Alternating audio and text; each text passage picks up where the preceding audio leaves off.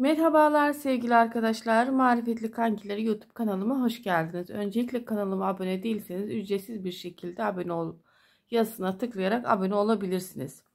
Bir sonraki videolarımdan anında haberdar olmak için de oradaki zil sesi butonuna tıklarsanız zil sesini de aktif hale getirirseniz paylaşmış olduğum videolardan anında haberdar olabilirsiniz. Beğeni ve yorumlarınıza destek olursanız çok sevinirim. Bütün modellerimin yakın çekimlerinde marifetli kankiler Instagram hesabımdan bulabilirsiniz. Bugün sizlere böyle gri renkte pembe e, floşla güzel bir model anlatımını yapmak istiyorum. İnşallah modelimiz iki seferde tamamlanıyor ama çok zarif ve çok da kibar bir model.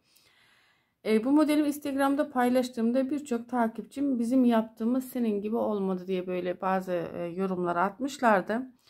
Ben de hem böyle yazmanın e, bitiş böyle bitirmek üzereyim müşterimin bir yazması. Yazmada nasıl duruyor, nasıl ütülemeniz gerekiyor, köşelerde ne yapmanız gerekiyor detaylıca böyle bir anlatmak istiyorum. Hem de bu siparişimi yapmışken hem de yazmanın e, böyle hani komplesinde nasıl bir duruşa sahip e, olduğunu görmeniz açısından videomu çekmek istiyorum. Öncelikle renk numaralarımı vermek istiyorum hanımlar. Şu filoş ipimden başlamak istiyorum. Filoş ipinin bildiğiniz gibi çok fazla modeli var. Bir çiçek modelini çok fazla yapıyorum. Çok da sipariş almış olduğum bir model. Bu da pembe rengimiz. En çok kullanmış olduğum renk e, kremle pembe rengidir. Bu ip her yerde bulunamıyor. O kadar çok mesaj alıyorum ki biz bu ipi bulamıyoruz diye. E, bu ipi İstanbul'da bir yerde buldum ben hanımlar. Her yerde maalesef bulunmuyor ama ucuz da bir ip değil. Ee, bazı isteyen takipçilerim istedikleri zaman çarşıya gittiğimde gönderim yapıyorum. Alıp gönderim yaptım mesela en son gitmiş olduğumda çarşıya müşterimi alıp gönderdim yani takipçime rica etti.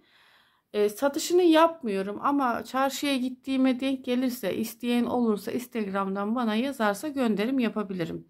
Çarşıya gittiğimde arıyorum orada ip varsa ip var diyorum. O da ödemesine IBAN'ımı attığı zaman Hemen oradan alıp kargolayabiliyorum. Bunun da bilgisini vermiş olayım. İnternet sitelerinden almıyorum. Hiçbir internet sitesinde denk gelmedim. Bilmiyorum. Çok önceden almıştım. Ama orada da şu an yok almış olduğum o sitede. Bu ip normal ipe göre kalındır arkadaşlar. Şöyle bakın 9 katlıdır. Patik çetik ipi diye geçiyor. E, gri rengi de pembe çok yakışıyor. Gri yazmamın da tonunu söylemek istiyorum. Yazmam 53 gri hanımlar en çok satmış olduğum gri renklerden bir tanesidir. Reyyan markadır. İp numaram da altın başak 119 numaralı ip birebir uyumludur. Bu şekilde şöyle. 53 griyi hep bu ipi kullanıyorum. Farklı bir markaya geçtiğiniz zaman bunda biraz ton değişikliği oluyor. O yüzden altın başak 119 numaralı ipten şaşmayın derim hanımlar. Genelde floş oyalarında bu şekilde 20 e, numaralı turp kullanıyorum genelde hani o zincirler biraz tok durmasını istediğim için. Yazmamızı da şöyle hemen göstereyim. Yazmamı yarım kenarı kaldı hanımlar. Hem üstünü hem de alt kısmını yaptım ki sizlere göstermek açısından. ipini beraber götürdüm yani. Yazmamızın zürafası bu şekilde hanımlar. Yazmamızın zürafası 3 zincirle olmalıdır. Çok sık zürafayı kaldırmıyor bu oya. 2 tane de atlarsanız seyrek düşer. 3 zincirle yapmış olduğunuz zürafa tam ideal duruyor. Şöyle köşe kısımlarınızın da muntazam olması için ne yapmanız gerektiğini de böyle kısaca anlat, anlatacağım arkadaşlar. Normalde bir zürafa atlıyorum. Gördüğünüz gibi köşeye geldiğimde iki tane yerde zürafa atlamamışım. O yüzden köşem muntazam durmuş. Bakın gördüğünüz gibi. Modelim bu şekilde hanımlar. Çok kibar böyle zarif bir model. Şöyle arkadaşlar bakın e, güzel e, örmesi keyifli hızlı da giden bir model. Sizleri daha fazla bekletmeden hemen modelimin anlatımına geçmek istiyorum. E, modelimi böyle yap biraz yapayım nasıl ütü yapmanız gerektiğini de sizlere söyleyeceğim arkadaşlar. Şimdi ben örmüş olduğum yerden devam ettireceğim ama şimdi bunun başlangıcını soracak olan arkadaş mutlaka çıkacaktır. O yüzden çok kısa bir başlangıç noktasında sizlere çekmek istiyorum hanımlar. İpinizi diyelim ki bu şekilde tığınıza sabitledik. Şöyle bir başlangıç noktasından giriş yapıyoruz hanımlar. Sonra ipimi şöyle alıyorum. Şimdi ipimi de kesmediğim için aradan geçirmem gerekiyor. Şöyle.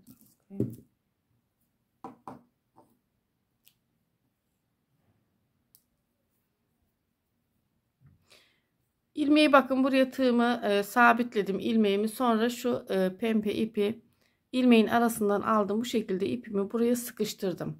1 2 3 4 5 6 tane zincir çekiyorum.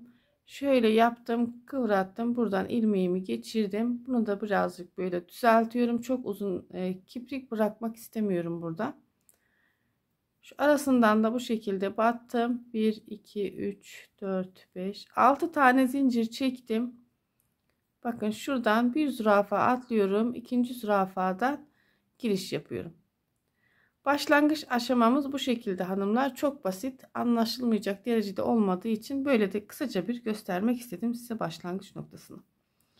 Şimdi hemen şeyden başlamak istiyorum. Ee, örmüş olduğum yerden devam ettirmek istiyorum.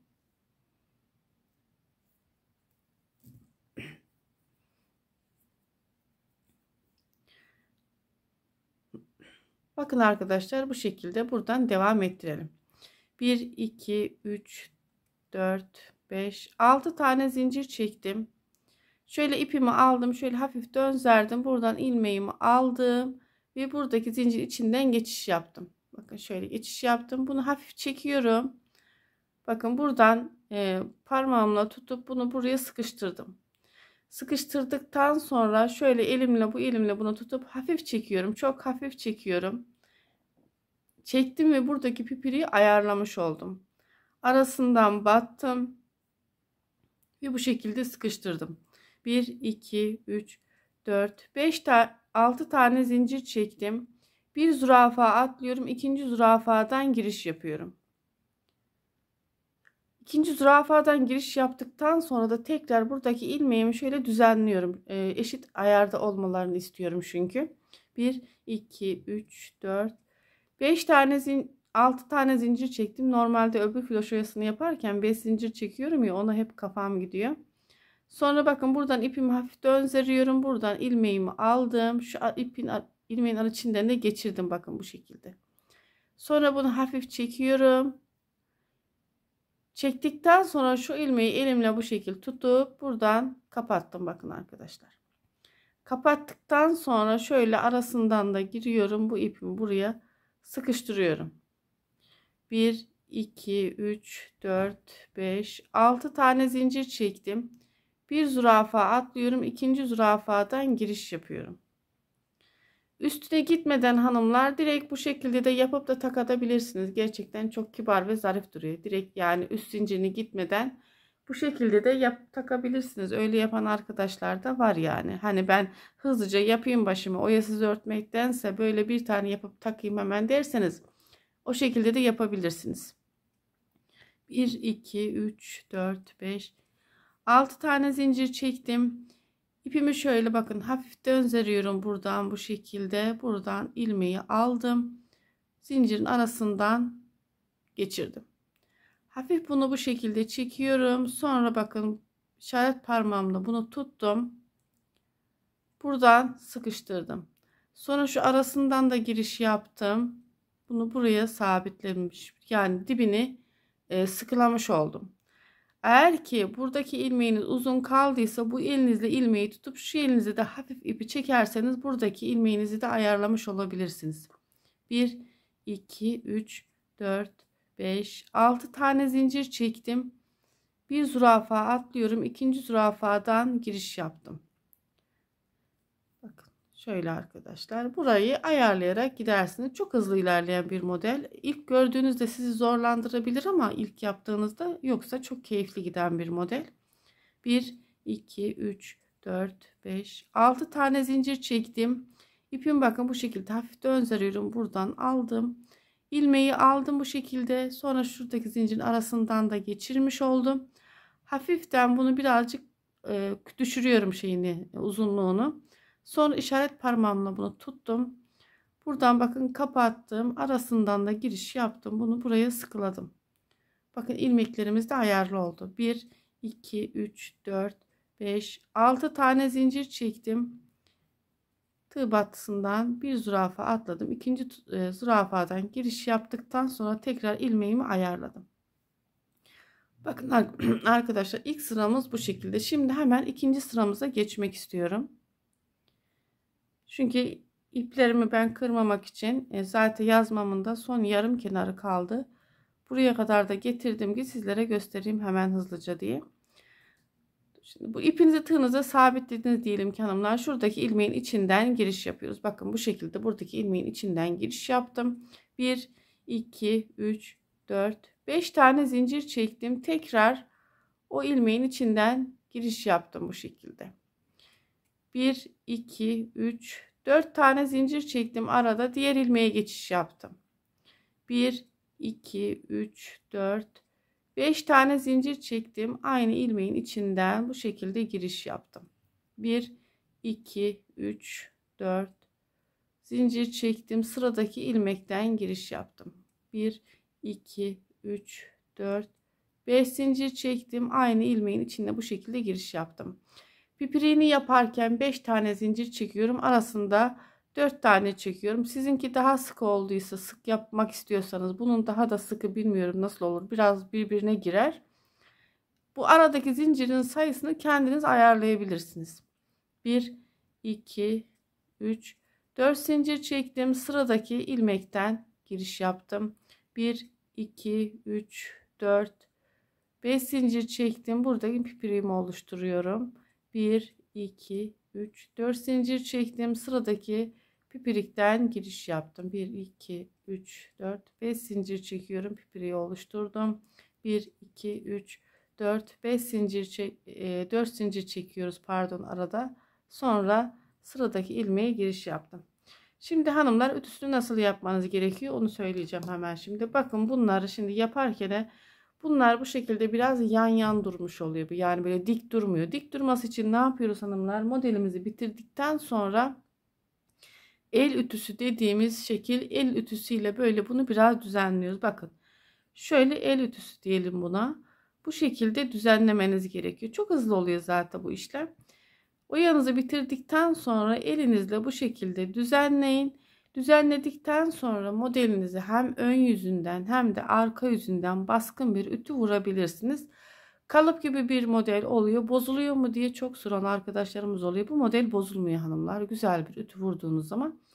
Ben şu an iplerle hani 3 tane iple aynı anda gittiğim için düzgün ütü vurmak zor oldu. İpleri de kırmak istemedim. Arada tüyüm olmasını istemiyorum. Çünkü çirkin bir durum, e, görüntü olmasın. Müşteriye gidecek neticede. Çünkü model olarak başlayıp kenara atmayacağım bunu hanımlar.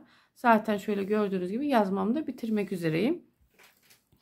E, bitmiş halinde kapak resmi olarak da kullanırım zaten. Instagram hesabımda da bulabilirsiniz. Hem ön yüzünden hem de arka yüzünden çok baskın bir ütü vurabilirsiniz. Ben ön yüzünden hafif bir ütü vurdum. Şu an oyamı bitirdikten sonra hem tersinden hem yüzünden tekrar güzel bir ütü vurduk, vuracağım hanımlar buna. Ee, umarım sizlere bugünkü videomda faydalı olmuştur. Köşe kısmında zaten birazcık anlatmaya başladım ilk, e, ilk başladığımda. E, köşesini nasıl yapmanız gerektiğini söyledim ama tekrar üstünden geçeyim. Köşesine geldiğinizde hanımlar normalde bir zürafa atladık şu e, şeylerde biliyorsunuz. Köşeye geldiğiniz zaman 2 veya 3 yerinde zürafa atlamayın. Ki köşeniz muntazam olsun. Hiç böyle gerdirmesin. Köşelerimde bakın hanımlar hem içinden hem de dışından e, böyle sivri e, köşeleri çok severim. Böyle hani düzgün olsun köşem. Muntazam olsun. Çok özen gösteririm köşelerimin muntazam olmasına. Şöyle bakın burada da yani yine köşem aynı muntazamlıkta. Köşelerinize özen gösterin. Müşterileriniz sizin bir yazmanız gittiğinizde müşterinizde emin olun işiniz güzelse hiç siparişsiz kalmazsınız. Çünkü ben öyleyim o şekilde. Elhamdülillah e, hiç siparişsiz kalmıyorum. Siparişlerimi Instagram hesabımdan e, alıyorum. Buradan fiyat soranlara buradan fiyat vermiyorum. Fiyat Instagram hesabımdan. E, bir başka modelimde buluşmak üzere. Allah'a emanet olun. Çok konuştum yine inşallah.